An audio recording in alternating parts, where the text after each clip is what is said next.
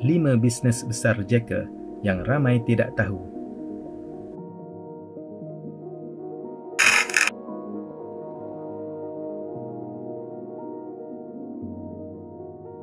Revenue almost 800 juta dengan aset bernilai worth 1 bilion.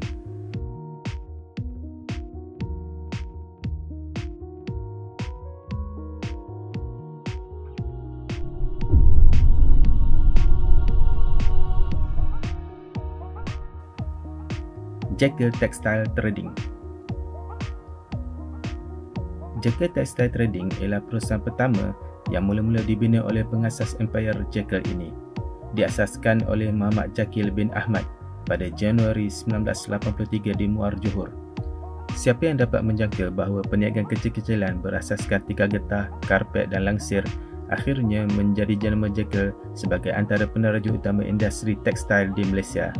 Permulaan langkah besar pertama Jekyll ialah dengan membeli bangunan Cinema Rex di Segamat dan mengubah bangunan tersebut kepada gudang dengan menjual kain-kain yang diimport kepada pelanggan dengan harga yang murah.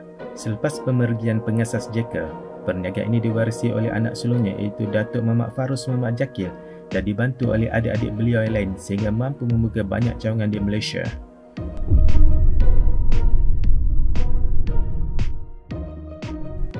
Ariani Textile diasaskan oleh Datin Farah Haryani Muhammad Filik iaitu isteri kesayangan kepada Datuk Muhammad Farus merupakan pengarah pemasaran Aryani Textile Manufacturing Malaysia Sendirian Berhad. Datin Farah Haryani asalnya adalah dari seorang guru yang mengajar bahasa Inggeris di sekolah. Selepas beliau berkahwin dengan Datuk Muhammad Farus, beliau mula menunjukkan minat dalam bidang perniagaan dan kemudiannya membuka Aryani Textile yang lebih menjurus kepada pakaian muslimah seperti jubah, kain tudung dan lain-lain.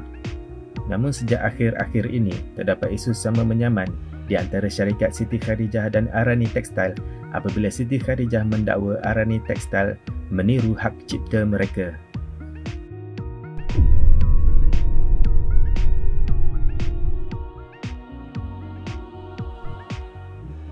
Jekyll Development Antara projek terbesar pecahan dari perniagaan Jekyll pada masa kini ialah Jekyll Development. Bagi Datuk Muhammad Farus, sektor hak tanah mempunyai masa depan yang kukuh. Justru itu, Jekyll sekali lagi mengorak langkah dengan membuka Jekyll Mall Jalan Munshi Abdullah, Kuala Lumpur yang mula dibuka pada 19 Februari 2015. Pusat membeli belah yang berkeluasan 330,000 kaki persegi itu bakal meletakkan Jekyll sebagai pusat perniagaan tekstil terbesar di dunia dan bakal menjadikannya hub fashion terkemuka bukan sahaja di Malaysia malah ke peringkat global. Tidak ketinggalan, pihaknya turut membina hotel bertaraf 4 bintang dan patut syariah yang menyediakan 300 bilik serta kolam renang yang berasingan bagi lelaki dan wanita.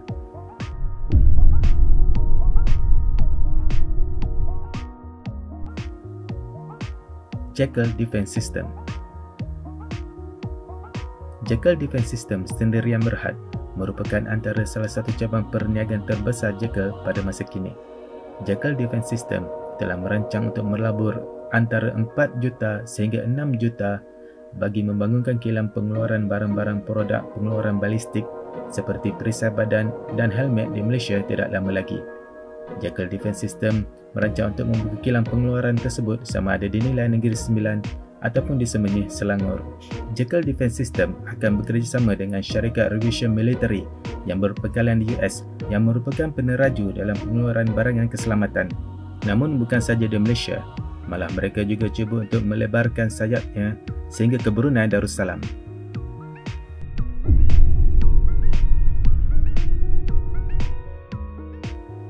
Jekyll Oil and Gas walaupun telah diumumkan oleh Jekyll sendiri tentang pelibatan Jekyll dalam bidang oil and gas ini, sebenarnya tidak banyak info tentang Jekyll Oil and Gas yang dapat kami cari buat masa ini. Namun yang dapat kami kongsikan ialah terdapat tender dan pelaburan oleh Dato' Muhammad Farus yang mula melabur dalam saham-saham dalam cabang bisnes ini.